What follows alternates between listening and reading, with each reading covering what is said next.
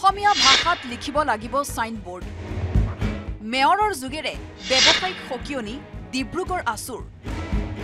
অনুৰূপ দাবী সাহিত্য সভাৰ বিষয়ববীয়াৰ শিৱসাগৰ আৰু গোলাঘাটৰ পিছত ডিব্ৰুগড় মহানগৰত অসমীয়া ভাষাৰ অৱমাননাক লৈ গৰজি উঠিল সদৌ অসম ছাত্ৰ সন্থা। উজনিৰ আন আন জিলাৰ দৰে ডিব্ৰুগড় মহানগৰীৰো বেনাৰ আৰু ছাইনবোৰ্ড অসমীয়াতে লিখাৰ দাবী জাতীয় সংগঠনটোৰ। মহানগৰখনৰ প্ৰতিখন ব্যৱসায়িক প্ৰতিষ্ঠানলৈ এই নিৰ্দেশ দিবলৈ মেয়ৰ ডাঃ সৈকত পাত্ৰক স্মাৰক পত্ৰ প্ৰদান আছুৰ নেতৃত্বৰ।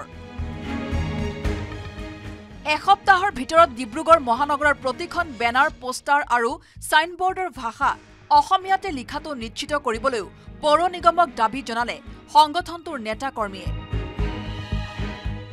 ডিব্ৰুগড়ত যিসমূহ চৰকাৰী বেচৰকাৰী প্ৰতিষ্ঠান আছে য'ত তেখেতলোকৰ ফলকসমূহত অসমীয়া শব্দটো খুব সৰুকৈ ব্যৱহাৰ কৰি ইংৰাজী শব্দটো কিন্তু খুব বেছি ডাঙৰকৈ ব্যৱহাৰ কৰা ডিব্ৰুগড়ত পৰিলক্ষিত হোৱা দেখা গৈছে। ইংৰাজী ভাষাটো যিমান সম যেনেদৰে লিখিছে ঠিক তেনেদৰে অসমীয়া ভাষাটো তেখেতলোকে সমপৰ্যায়ে অসমীয়া ভাষাটো প্ৰথম প্ৰধান গুৰুত্ব দিবৰ কাৰণে আমি আহ্বান জনাই আজি আমি এক সময়সীমা নিৰ্ধাৰণ কৰি দিবৰ কাৰণে আমি মেয়ৰ ডাঙৰীয়াক অনুৰোধ জনাইছোঁ। আছুৰ সুৰতে সুৰ মিলালে সাহিত্য সভাৰ নেতৃত্বও মেয়ৰক স্মাৰক পত্ৰ প্ৰদান কৰি ফলকত অসমীয়া ভাষাক প্ৰাধান্য দিয়াৰ ব্যৱস্থা কৰাৰ আহ্বান ডিব্ৰুগড় জিলা সাহিত্য সভাৰ বিষয়ববীয়াৰ আজি আমি ডিব্ৰুগড় সাহিত্য সভাৰ হৈ আজি আমি এক প্ৰতিনিধি দলে নৱকৈ গঠন কৰা ডিব্ৰুগড় পৌৰ নিগমৰ মেয়ৰক আজি এখন আমি স্মাৰক পত্ৰ প্ৰদান কৰোঁ।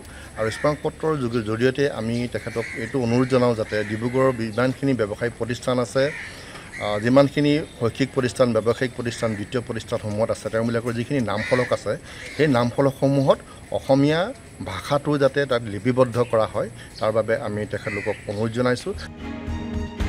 বহিৰাগত ব্যৱসায়ীৰ খিলঞ্জীয়া বিৰোধী কাণ্ড কাৰখানাৰ বিৰুদ্ধে শিৱসাগৰত সূচনা হোৱা প্ৰতিবাদ এতিয়া সম্প্ৰসাৰিত হৈছে গোলাঘাটৰ লগতে ডিব্ৰুগড় মহানগৰলৈ। নামফলকত অসমীয়া ভাষা ব্যৱহাৰৰ দাবীত একৈশটাকৈ জাতীয় দল সংগঠনে গোলাঘাট কপোৱাৰ পাছত ডিব্ৰুগড়ত অনুৰূপ দাবী আছুৰ লগতে সাহিত্য সভাৰ বিষয়ববীয়াৰ ডিব্ৰুগড়ৰ পৰা জেছিম আহমেদৰ report news eighteen Assam north east. আপুনি বিচৰা বাতৰি পাব কেৱল নিউজ এইটিন এপত। নিউজ এইটিন এপ ডাউনলোড কৰিবলৈ স্কেন কৰক এই Q R code. Google play ষ্টৰতো পাব এই নিউজ এইটিন এপ।